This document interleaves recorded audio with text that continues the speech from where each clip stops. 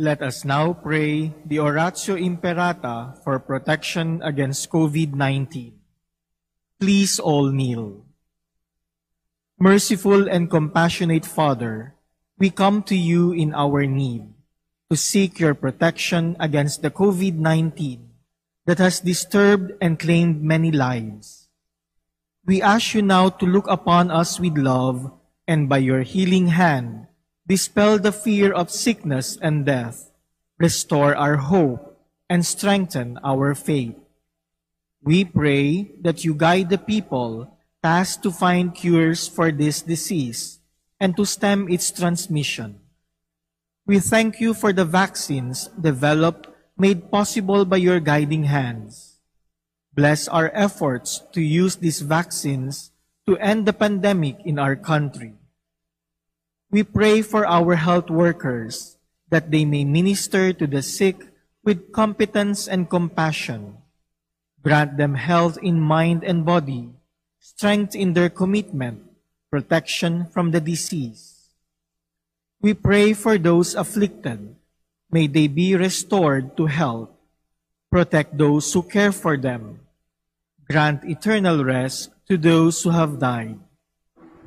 Give us the grace in these trying times to work for the good of all and to help those in need. May our concern and compassion for each other see us through this crisis and lead us to conversion and holiness. Grant all this through our Lord Jesus Christ, your Son, who lives and reigns with you in the unity of the Holy Spirit, God forever and ever. Amen. We fly to your protection, O Holy Mother of God. Do not despise our petition in our necessities, but deliver us always from all dangers, O glorious and blessed Virgin. Amen. Our Lady, health of the sick, Pray for us. Saint Joseph, Pray for us. Saint Raphael the Archangel, Pray for us. San Roque, Pray for us. San Lorenzo Ruiz, Pray for us. San Pedro Calungsod, Pray for us. In the name of the Father, and of the Son, and of the Holy Spirit, Amen. the Lord be with you. And with your spirit, My dear brothers and sisters, to prepare ourselves to celebrate this holy Mass, let us ask God's forgiveness and let us entrust ourselves to God's merciful love.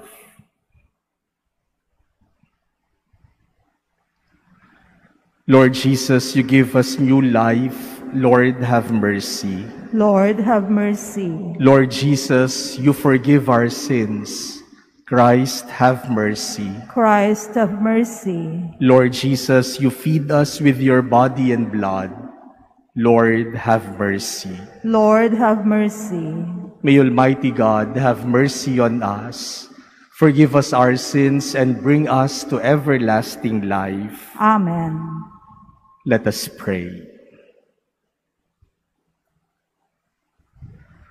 O God, who in the abasement of your Son have raised up a fallen world, fill your faithful with holy joy.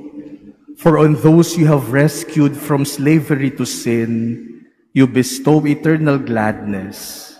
Through our Lord Jesus Christ, your Son, who lives and reigns with you in the unity of the Holy Spirit, God forever and ever. Amen. Please be seated. A reading from the book of the prophet Hosea. Thus says the Lord, They made kings in Israel, but not by my authority. They established princes, but without my approval. With their silver and gold they made idols for themselves to their own destruction. Cast away your cup, O Samaria. My wrath is kindled against them. How long will they be unable to attain innocence in Israel? The work of an artisan, no God at all, destined for the flames, Such is the calf of Samaria. When they saw the wind, they shall reap the whirlwind. The stalk of grain that forms no ear can yield no flour. Even if it could, strangers would swallow it. When Ephraim made many altars to expiate sin, his altars became occasions of sin.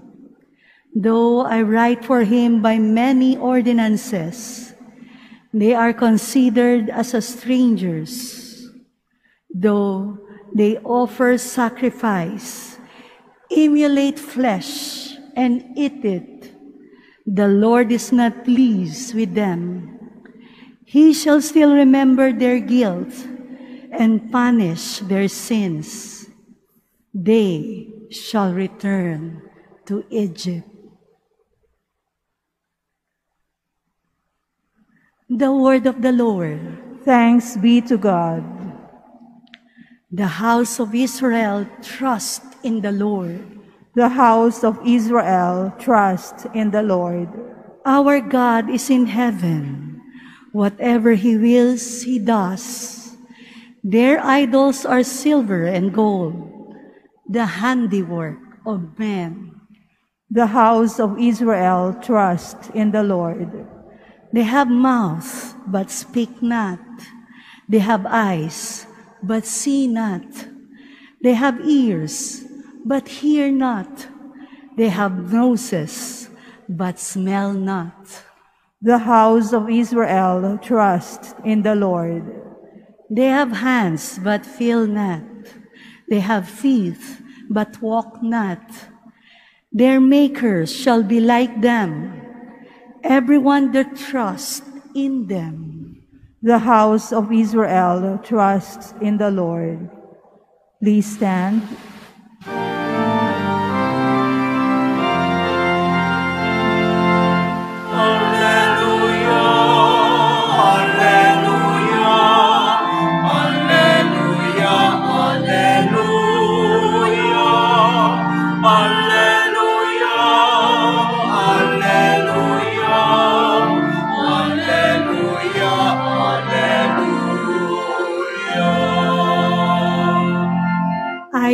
The good shepherd, says the Lord. I know my sheep, and mine know me.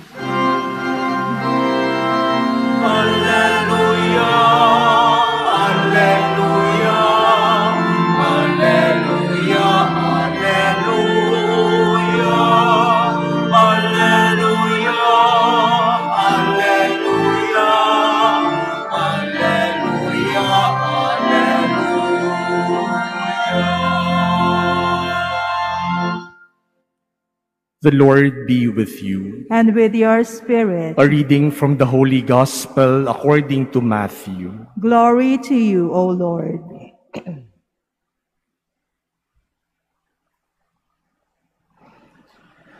A demoniac who could not speak was brought to Jesus. And when the demon was driven out, the mute man spoke.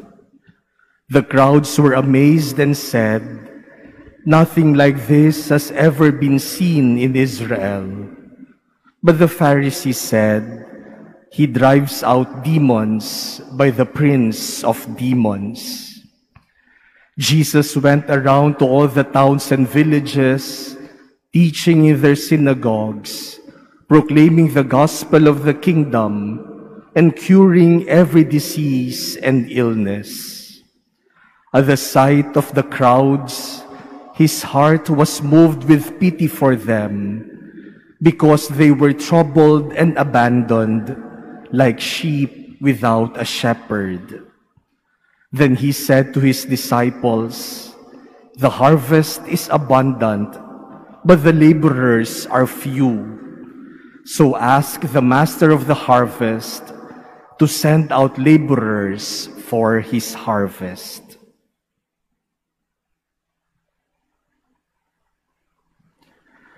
The Gospel of the Lord. Praise to you, Lord Jesus Christ. Please be seated.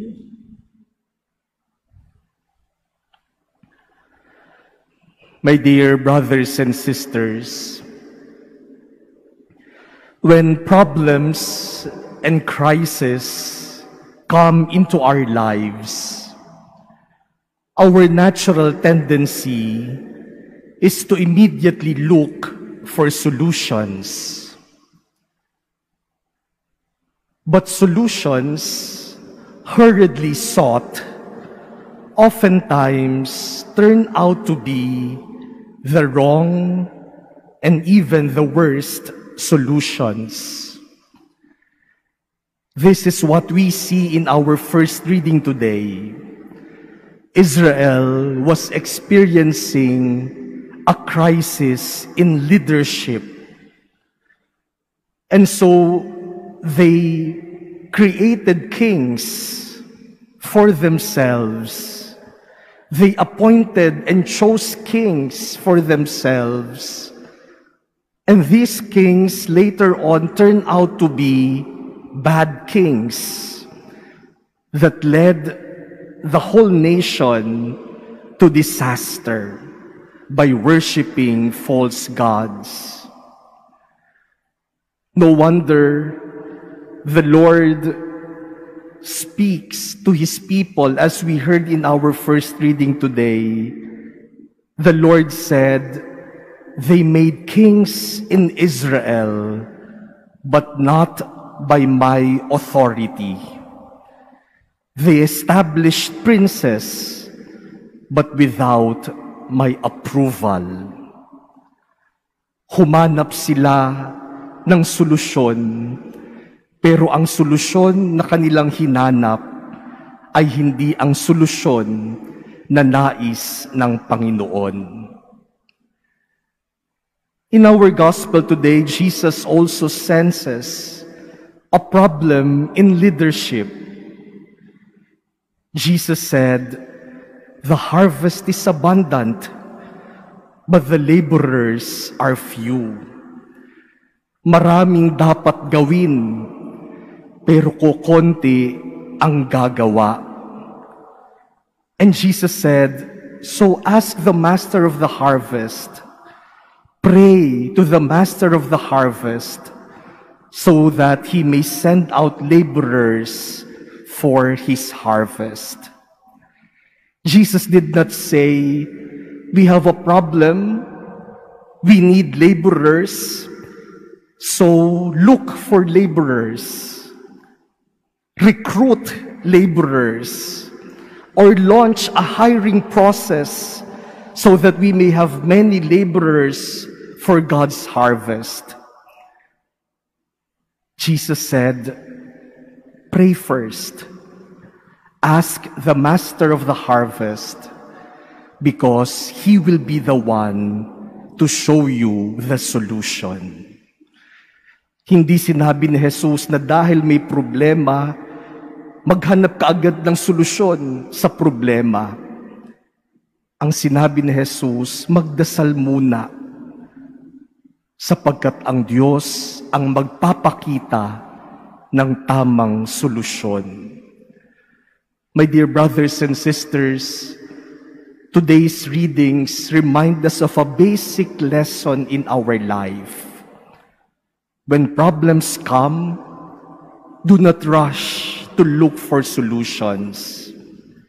Pray first, because only God can show us the right solutions.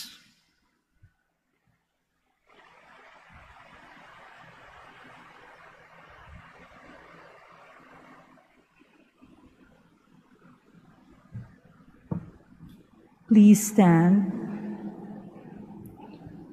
Through the priesthood of the new covenant, God brings the reconciling ministry of His Son to us.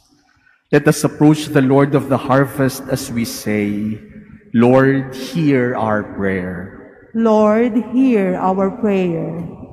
that more men may be called to serve God's people as priests. Let us pray to the Lord. Lord, Lord, hear hear our our prayer.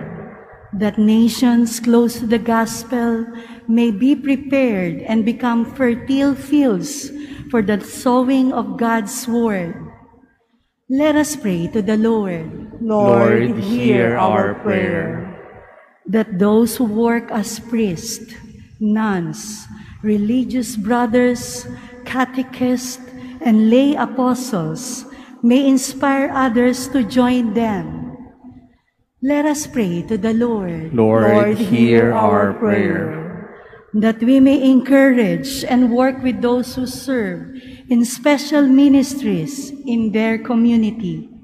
Let us pray to the Lord Lord, Lord, hear hear our our prayer. prayer. that the reconciling sacrifice of Christ may bring the dead to, the, to his glory. Let us pray to the Lord. Lord, hear our prayer. We pray for our personal petitions. We pray for the people who need our prayers. And we pray for all the intentions offered in this Mass.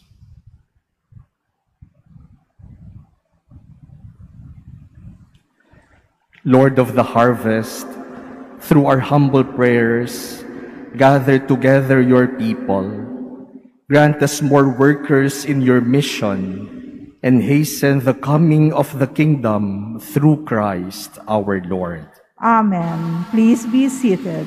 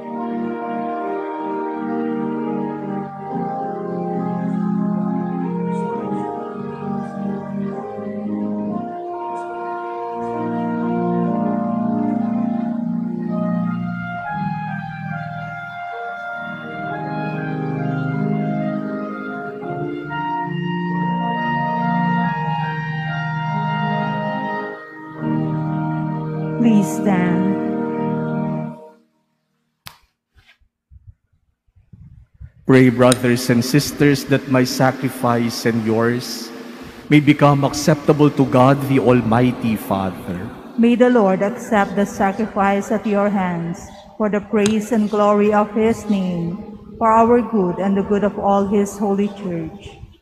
May this oblation dedicated to your name purify us, O Lord, and day by day bring our conduct closer to the life of heaven through Christ our Lord. Amen. The Lord be with you. And with your spirit, Lift up your hearts. we lift them up to the Lord. Let us give thanks to the Lord our God. It is right and just. It is truly right and just, our duty and our salvation, always and everywhere to give you thanks, Lord, Holy Father, Almighty and Eternal God. For just as through your beloved Son you created the human race, so also through him with great goodness you formed it anew. And so it is right that all your creatures serve you, all the redeemed praise you, and all your saints with one heart bless you. Therefore we too extol you with all the angels as in joyful celebration we acclaim. Holy, holy, holy Lord God of hosts, heaven and earth are full of your glory. Hosanna in the highest. Blessed is he who comes in the name of the Lord. Hosanna in the highest. Please kneel. You are indeed holy, O Lord, the fount of all holiness. Make holy, therefore, these gifts, we pray, by sending down your Spirit upon them like the dewfall, so that they may become for us the body and blood of our Lord Jesus Christ. At the time he was betrayed and entered willingly into his passion, he took bread and giving thanks broke it and gave it to his disciples, saying, Take this, all of you, and eat of it, for this is my body which will be given up for you.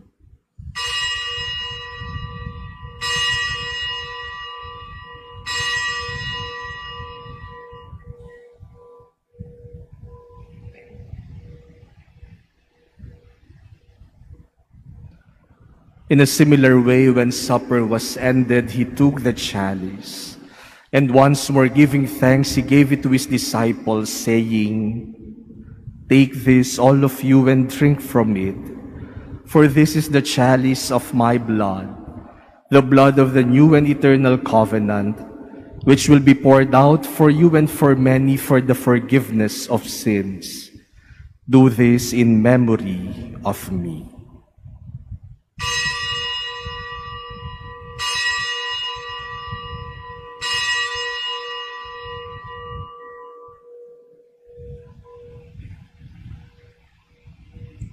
Please stand. The mystery of faith. We proclaim your death, O Lord, and profess your resurrection until you come again. Therefore, as we celebrate the memorial of his death and resurrection, we offer you, Lord, the bread of life and the chalice of salvation, giving thanks that you have held us worthy to be in your presence and minister to you. Humbly we pray that partaking of the body and blood of Christ, we may be gathered into one by the Holy Spirit.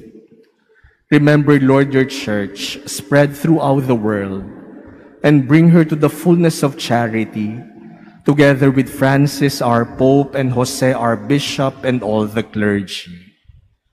Remember also our brothers and sisters who have fallen asleep in the hope of the resurrection and all who have died in your mercy, welcome them into the light of your face.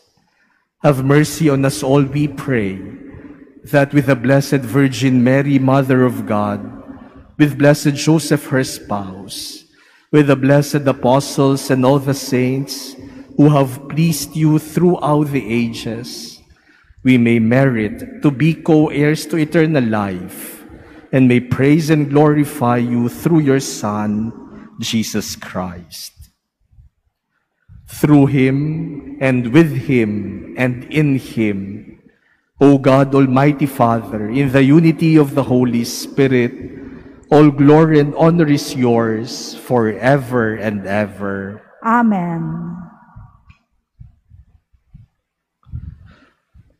Let us pray to the Father as Jesus taught us.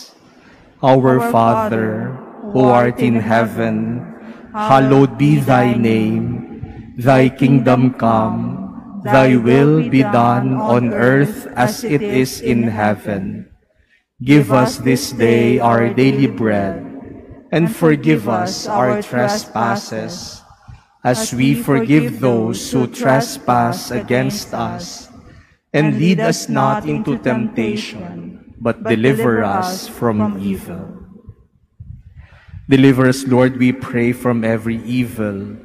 Graciously grant peace in our days, that by the help of your mercy we may be always free from sin and safe from all distress, as we await the blessed hope and the coming of our Savior, Jesus Christ. For the kingdom, the power, and the glory are yours, now and forever. Lord Jesus Christ, who said to your apostles, Peace I leave you, my peace I give you. Look not on our sins, but on the faith of your church, and graciously grant her peace and unity in accordance with your will, who live and reign forever and ever. Amen. The peace of the Lord be with you always. And with your spirit. Let us offer each other the sign of peace.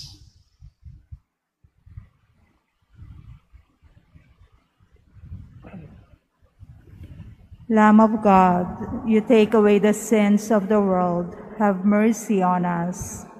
Lamb of God, you take away the sins of the world, have mercy on us. Lamb of God, you take away the sins of the world, grant us peace. Please kneel.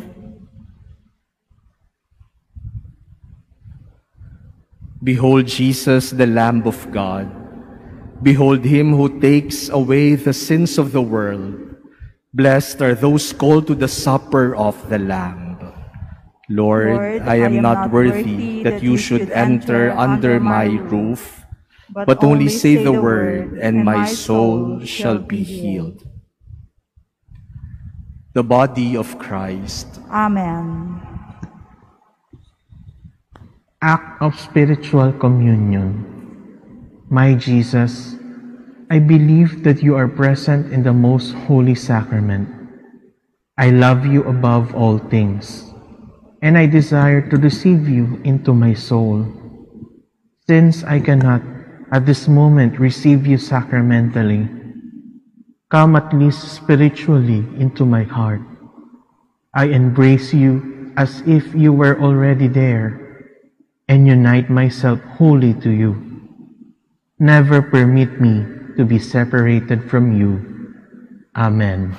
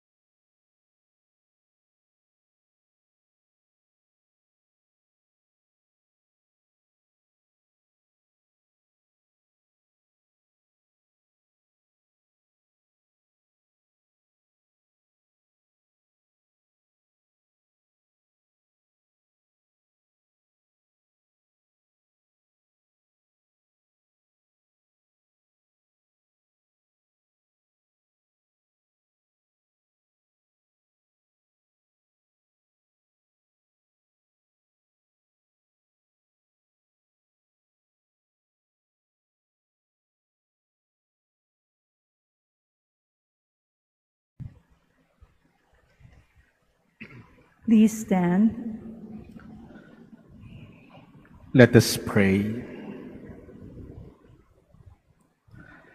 Grant, we pray, O Lord, that having been replenished by such great gifts, we may gain the prize of salvation and never cease to praise you through Christ our Lord. Amen. The Lord be with you. And with your spirit. May Almighty God bless you, the Father, and the Son, and the Holy Spirit. Amen. Go forth, the Mass is ended. Thanks be to God.